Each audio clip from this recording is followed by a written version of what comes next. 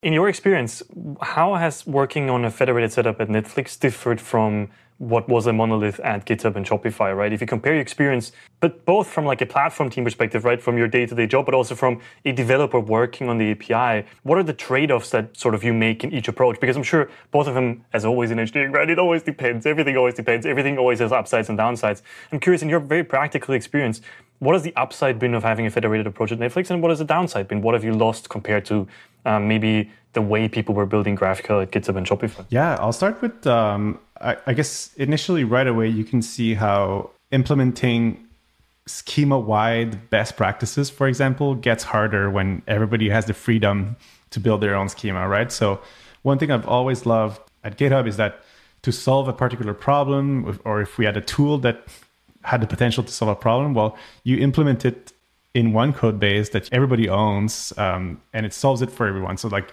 you can have a lot of leverage in the same code base. With Federation, and especially at Netflix, which is a, a culture of a lot of freedom, which is amazing. One of the reasons I joined, uh, teams are, are fairly free to choose their technology and how to advance.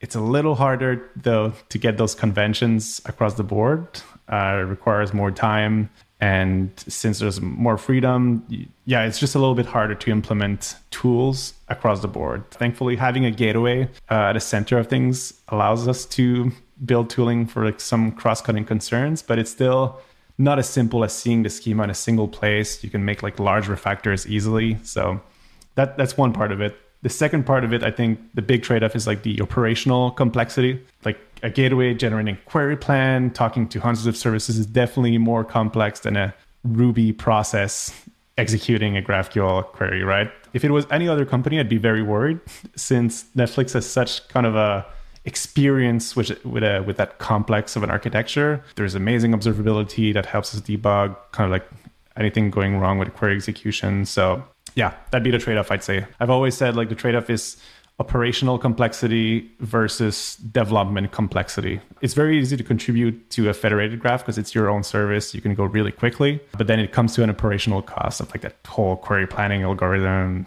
times out, timeouts, just like crossing network boundaries in general. So that really resonates. We actually see that at GraphCDN where GraphCDN kind of acts as like a dumb gateway, in dumb in, under air quotes, right, between your clients and your server. It's it's meant to be as transparent as possible. But of course, what we've realized is that actually a lot of actually federation actually has a lot of traction with bigger companies.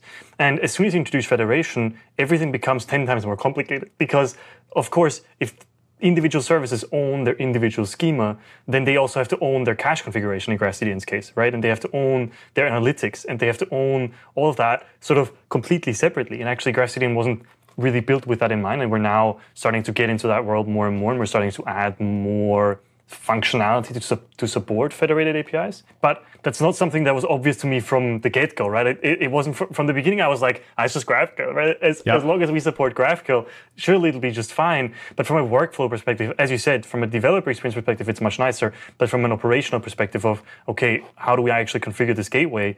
you get a lot of overhead that I didn't anticipate before. It really goes back to like how big the product you're working on is.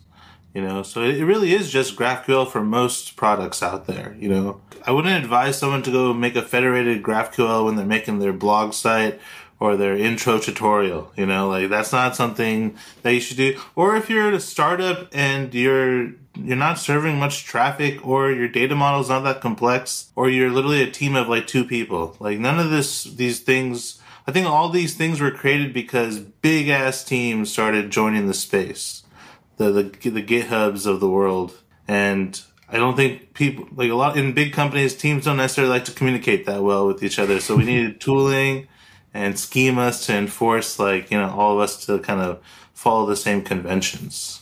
So that's pretty cool that like even Apollo is part of schema stitching. They've kind of been through this whole journey of like where is enterprise GraphQL really going to go. Um, so it's cool to see that Netflix has that approach as well. Yeah, I mean, you you touched on a good point. I don't know where the line is where like federation starts becoming a good trade off. Right? I, I'm not sure where it is, but I think it's fairly high, right? Like even I'm not sure if we felt these problems of independent schema evolution at GitHub, even with a very large schema, but you can get pretty far with good tooling. Personally, I try to delay the decision to federate Yeah.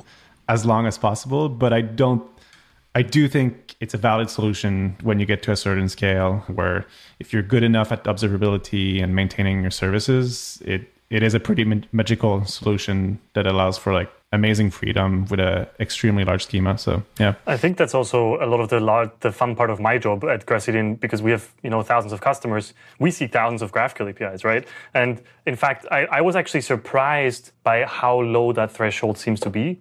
I think pretty much every bigger company, where bigger probably means more than maybe 100 engineers that we've talked to, I would actually say maybe it's even 100% or at least close to 100% uses Federation, right? And I know obviously there's like Shopify and GitHub who both don't, but from the companies that we talk to, a lot of them nowadays use Federation eh, as soon as they have, basically as soon as they have more than five teams working on a GraphQL API. That's right? amazing. It's Yeah. become sort of like the default solution from at least the APIs we see in the market, where once you get to more, multiple teams working on a GraphQL API, you're probably going to use Federation. And what's also interesting is that, that there's people that I can't actually call out that I've talked to privately who, who were like, yeah, it's probably too early because actually the sort of centralized schema approach works up to a much larger point than people think. Right back to your point, Marc, where you said, you know, at, at GitHub that was still working perfectly fine. GitHub had the monolith, GitHub had the setup for it. At the time when we were there, I think there were what 600 engineers at GitHub, maybe some somewhere in that Something order of that, magnitude, I think. yeah.